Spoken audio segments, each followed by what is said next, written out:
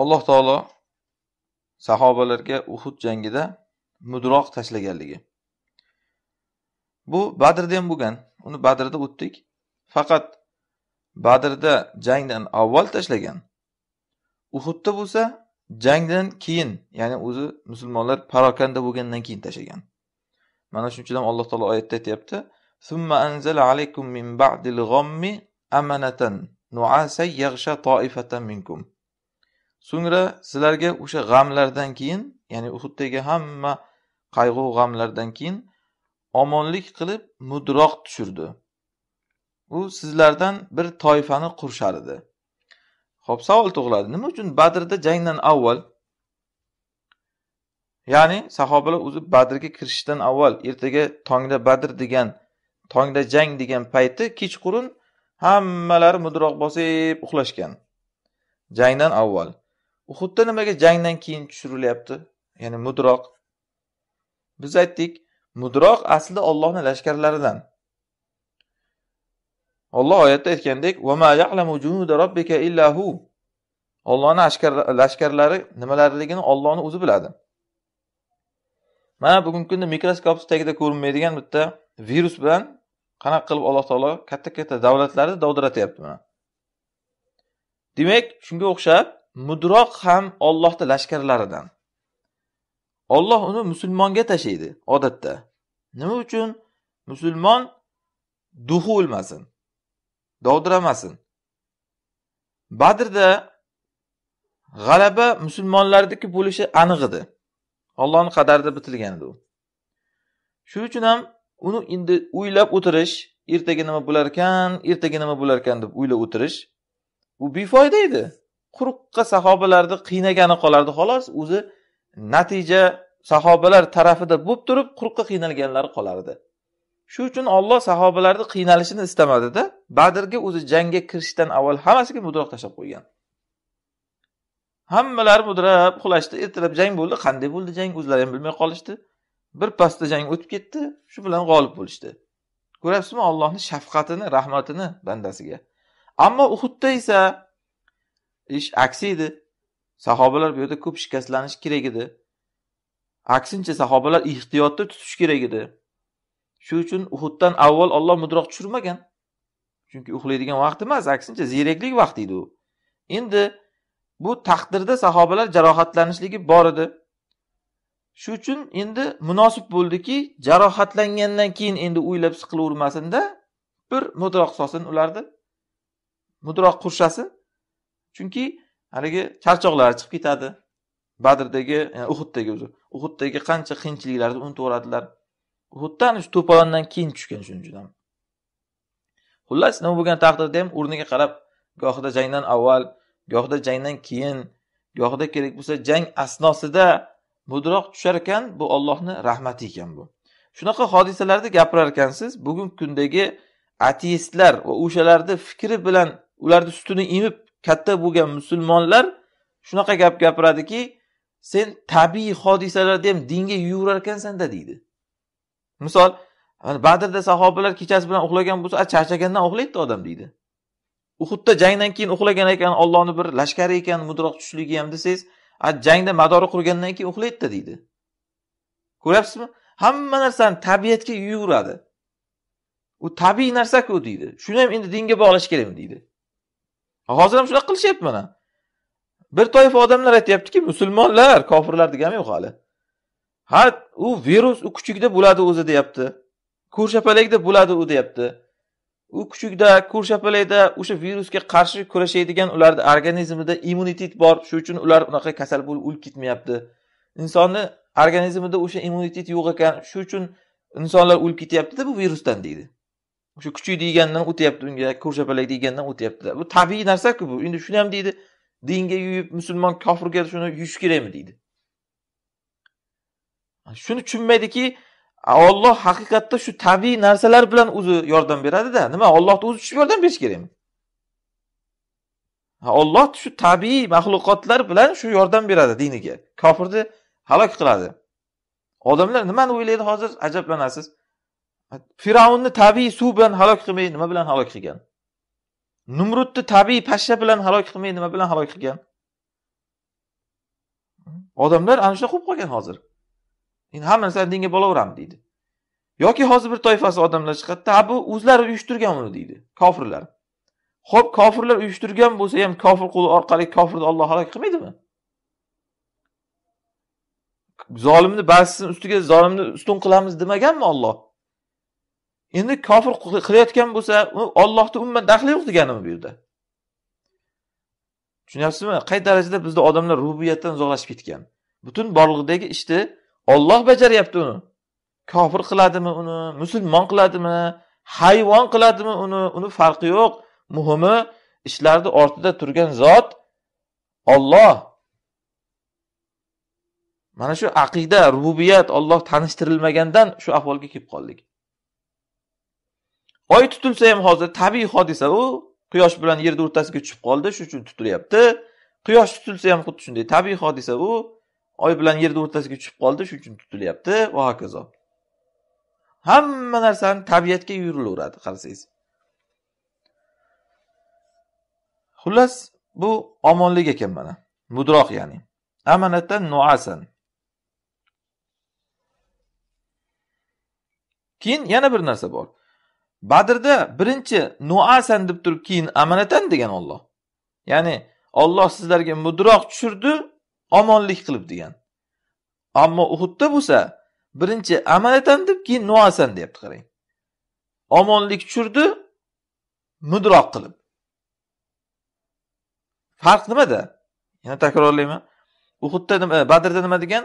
Nuasan amanatan uhudda nima deyapti? Amanatan nuasan teskarisi kelyapti. Chunki uhudda sahobalar mudroqdan ko'ra xotirjamlikka muhtoj edilar. Chunki parokanda qatl bo'lgan rasululloh alayhi vafot etdi qatl qilindi degan gap tarqagan. Shuning uchun ular mudroqdan ko'ra birinchi o'rinda xotirjamlikka muhtoj edi ular. Shuning uchun olloh uhudda birinchi xotirjamlik dedi keyin mudroq tushirdi dedi. Ya'ni xotirjamlikdan keyin sahobalar bunday e, ozroq xotirjam bo'lib keyin ko'zlariga mudroq keldi. U mudroq ham yaxsha toifatan minkum deyapti. Sizlardan bir toifani qurishar edi demak hammaga tushmagan u. Iymoniga qarab tushgan. Va ammo bir toifa bo'lsa va toifatun. Qod ahammathum anfusuhum. Ularga o'z nafslarigina g'am bo'lgandi ularga. Ya'ni o'z jon tirik qolishdan boshqa g'am yo'q edi ularni ular yazunnuna billahi g'ayral haqqi zonnal jahiliya. Alloh taologa nohaq johilona gumon qila boshladilar. Ko'ryapsizmi? Bitta balo qarang. Yoki bitta ne'mat bir joyda ishtirok etgan bitta qozonni ichida turgan odamlarga iymoniga qarab har xil bo'lar ekanmi? Qarang olloh mudroq tushirdik deyapti. Kimni qurishadi u? Musulmonlarni ham hammasini emas. Musulmonlarni ham bir toifasini ya'ni haqiqatda olloh uchun jonini tikaman degan xolis mo'minlarni mudroq qurishadi ammo shu mo'minlar safida turgan hali kofirlarni qo'ying. Shu mo'minlar safida turgan bir toifani qurshamadi u. ularki jon shirinlardi endi savol tug'iladi qarang ajoyib. Aslida uhudda jon shirinlar jangdan avval qaytib ketmadimi? Munofiqlar qaytib ketdiku uch yuztasi jon shirinlar ko'ryapsizmi? Hatto munofiq bo'lmasdan turib ham hatto munofiq bo'lmasdan turib ham yoki iymoni zaif bo'lib turib ham ana shunaqangi paytda jangda bu narsa pand berishligi mumkin ekan. Munofiq emas u iymoni zaif. Shu narsa pand berishligi mumkin ekan qarang. Olloh aytyaptiki munofiqlar qaytib ketdi u hammasi munofiq bo'lmagan ularni. Lekin baribir o'shalarga masalan quloq solmoqchi bo'lganlar bo'ldiku. Minkum degandek ikki toifa ba'zilar ya'ni qaytmoqchi bo'ldi nima qilsak ekan munofiq qaytib ketdi biz ham qaytsak ekan deganlar bo'ldi. Shunga o'xshaganlar ya'ni iymoni zaiflar baribir o'sha yerda iymon zaifligi pand berar ekan. Shuning uchun ham jang shuni bilaylikki iymon bilan jang. Iymonsiz jangda odam yutiladi. Iymon bilan chiqish kerak. E, qurollar u mol dunyo u hech narsa emas. Hech qanday foyda bermay qoladi. Eng katta qurol odamda jangga chiqayotganda iymonni kuchaytirib chiqishlik kerak. Endi mana shu hozir aytganimizdan maqsad mo'minlarni ichidagi bir toifasini mudroq qurshagan bir toifasini esa o'ziga joni shirin bo'lib qolgan qarang ularni mudroq demak aylanib o'tyapti. Ularga tushmayapti mudroq. Mana bu yuqorida aytgan masalamizga yana bitta tanbeh bo'ladi. Bugungi kunda mana o'sha virus tarqayapti butun dunyoda. Hammasini yuragiga g'ulg'ula tushgan. Nima bo'ladi endi? Xursand bo'lish kerakmi endi shu narsaga? Axir u yerda qancha musulmon bor deydi. Ularga ham tegsa nima bo'ladi deydi. Ana olloh aytyapti oyatda nima bo'lar ekan u kerak odamga tushar ekan. Nusrat ham va balo ham kerakli odamga tushar ekan. Olloh tushirgan odamga. U bir joyga kelsa bir narsa endi hammaga o'shanaqa bo'ldi degani emas uni ustiga o'sha vabolardan qo'rqishlik aytyapmiz bu o'limdan qo'rqishlik. Sahobalardan biri vabo tarqagan paytda avf ibn malik adashmasam ismlari o'sha sahobiy ya toun huzni deganlar. Fahmni ko'ryapsizmi? Sahobalar qanaqa fikrlagan? Biz hozirgi zamondagi odamlar qanaqa fikrlayapti? Og'ziga maskani taqib olgan yuragi yorilib voy voylagan duo qilaylik xitoyda haqqiga degan nima desa vabo arsin tarqalmasin. Olloh ko'tarsin. Sahobiy abu molik qarab turib aytganlar ya toun huzni degan. Ey toun ol meni degan. Toun ya'ni vabo. Shunda odamlar subhanalloh axir eshitmaganmisiz rasululloh alayhi vasallam o'limdan qaytarganliklarini. Ya'ni o'limni orzu qilishdan qaytarganlar rasululloh alayhi vasallam deganda yaxshi bilaman degan buni. E, O'zingcha aqllilik qilmanglar deganda yaxshi bilaman rasululloh o'limni qaytarganliklarini. Lekin men olti narsadan kelishdan avval olti narsa olti narsa kelishdan avval o'lishni xohlayman deganlar. Bu o'limni orzu qilish deyilmaydi chunki unaqangi fitnalik dunyoga qolib yashashdan ya'ni fitnadan maqsad iymon fitnaga qoladigan iymon fitnaga qolib yashashdan o'lgan yaxshi degandek qilib aytganlarki oltita narsa kelishdan avval men o'lishni istayman deb oltita narsani sanaganlar hozir uni sharhlash vaqti emas uni alloh alam o'sha fitan darslarida sharhlagandik. Shundan ba'zilar masalan ahmoqlar bosh bo'lib qolishligi shurtiylar ko'payishligi ya'ni militsiyalar va qur'onni karnay surnay qilib oladiganlar chiqishligi sanab berganlar shunaqa fitnalarni qisqasi. Ana shular kelishdan avval o'lganim yaxshi deganlar.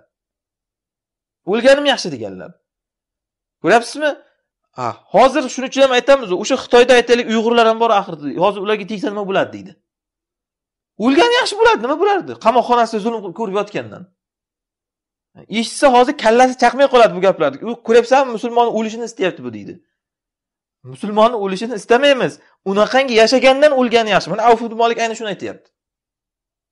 Unaqangi zillatda iymonini boy berib zo'rlanib ayollar yoki musulmon erkaklar ham zo'rlanib unaqangi xorlikda yashagandan o'lgani bechoralar yaxshi olloh huzuriga ketadi. Vala immuttum av qutiltum la ilallohi tuhsharun. Agar o'lsanglar ham qatl qilinsanglar ham ollohga mahsharga yig'ilasizlar olloh huzuridagi narsa u abrorlarga yaxshi. Ya'ni u narsani qolishlikni unaqangi qilib yashashlikdan nima naf bor? Shu uchun ham o'sha kishi avf molik ey toun kel meni ol deganlar. Bunaqangi shurtiylar zamonida militsiyalar zamonida qolib yashashdan qur'onni karnay surnay qiladigan saramullalar zamonida qolib yashashdan ko'ra ertaroq o'lib qutulay deganlar. Abu hurra roziyallohu an auzu billah min rasi sittin deganlar. oltmishinchi hijriy yilni boshiga yetishdan ollohdan panoh so'rayman o'lay o'shangacha men deganlar. Nimaga bunday deyapsiz? desa chunki o'sha oltmishinchi hijriy yildan keyin bari ahmoqlar hokim bo'lgan. Ana o'sha yillarga yetgandan ko'ra o'lib ketganim yaxshi o'shandan avval deganlar. Xullas maqsad bu gaplarni bu yerda gapirishimizdan. Mana qarang ollohni rahmati kelsa ham ollohni balosi kelsa ham kerak odamga kelar ekan. Mana sizlardan bir toifalaringni qurishadi deyapti. Omonlik. Bir toifalaringga esa jonidan boshqa g'ami yo'q deb ana subhanalloh ayni shu gaplar hozir shu kunda ana shu virus chiqqandan keyin odamlar basharasini ochyapti qarang. Bir toifa odamlar xotirjam qarasangiz ya o'lib ketsin xitoy xitoy yer bilan bitta bo'lsin hammasi qirilib ketsin. Desangiz bir toifa odam jonidan boshqa g'ami yo'q. Islom u rivojlanishi kofir yo'q bo'lishi ana shu zolim tog'utlar yo'q bo'lib ummat ko'ksiga shabada tiyishi ummatni ko'ksi shifo topishligi u narsalar unga umuman qizig'i yo'q. Jonidan boshqa g'ami yo'q. Toifatun qod ahammathum anfusuhum. Eng unga g'am bo'lgan narsa shu joni. Voy o'lib qolsam nima bo'ladi. Yazunnuna billahi g'oyral haq zonnal jahiliya. Alloh taologa nohaq gumonlarni qiladilar johilona gumonlarni. Uki ana shu voy endi o'lamiz voy bo'ldi tugadik mana. Aytgandikku sizlarga ana shunaqa gumonlar. A olloh boshqaryapti bu olamni. Bark ollohni iznisiz tushmaydi daraxtdan. Endi million million odam ollohni iznisiz o'lib ketaveradimi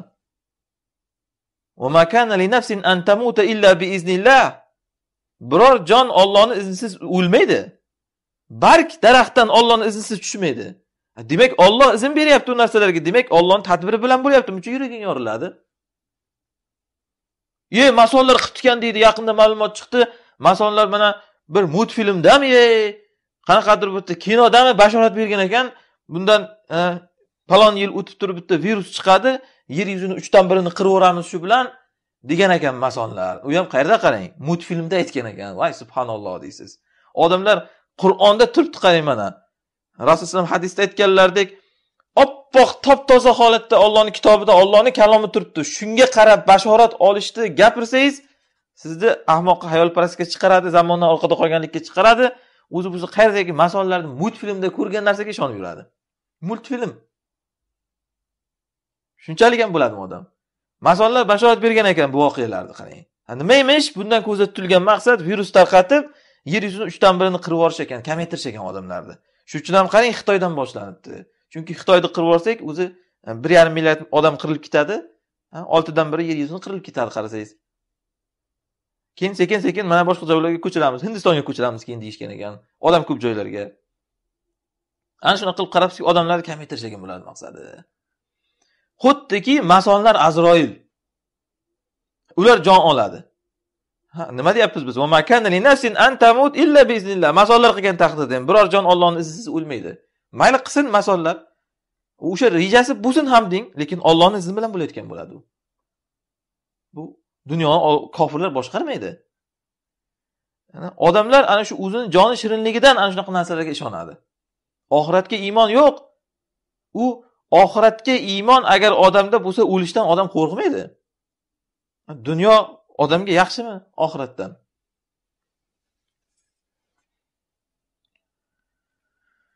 Mana olloh aytyaptiki bir toifaga jonlari eng muhim narsa bo'lib qolgan. Allohga nohaq johilona gumonlarni gumon qilardilar ular. Mana u nima edi? Johilona nohaq gumonlar. Olloh nusrat bermaydi degan narsalar. Ya'ni uhudga bizni aldab olib kelishdi. O'lib ketamiz hozir hammamiz shu yerda. Olloh yordam bermaydi endi degan gumonlar. Hozir ana shu gumonlar qarasangiz saramullalarda topasiz. Axir sen hozir qaysi zamonda yashayapsan deydi qarang. Ha u zamonlarda deydi mayli shu musulmonlar zaif bo'lsa ham nusrat bo'lib ketavergan ekan. Hozir kofirni qara qanaqa kuchli davlat deydi. Sen qaysi zamonlarda yashayapsan? Ollohga nohaq gumonan shu. Ollohga nohaq gumon go'yoki olloh bandasiga yordam bermaydi. Bo'ldi o'ldi hammasi deb o'ylash. Shuning uchun ham bugungi kunda mana qarang shomda bo'layotgan hodisalarda necha marta aytyapmiz. Odamlar unaqangi dovdiravermaslik kerak. Voy o'ldi bo'ldi tamom bo'ldi mana deb. Nohaq gumon ollohga bu. Shunaqangi gumon beradigan vaziyatlarga tushib qolinsa ham shunaqa deyilmaslik kerak. Johilona gumon bo'ladi u. Olloh bandasiga yordam bermaydi deb o'ylashlik. Islomni hamma zamonda g'alaba qilishligiga shubha qilgan odam johilona zamonda yashayotgan odam shuni biling. Yigirmata diplomi bo'lsa ham. Yana takrorlayman. Islomni kofir qanaqa darajada kuchli bo'lishidan qat'iy nazar. Musulmon qanaqa darajada zaif bo'lishidan qat'iy nazar. Hamma zamonda va hamma makonda baribir islom g'olib bo'ladi deyishga ko'zi yetmagan odam johilona gumon qilgan odam. Yigirmata diplomi bo'lsa ham u. Ya'ni islomiy maktablarni madrasalarni bitirganligida chunki olloh aytyaptiki u johillarni gumoni u islom tugadi deb o'ylash. Bu narsa o'sha odamlarni fosh qildi uhudda.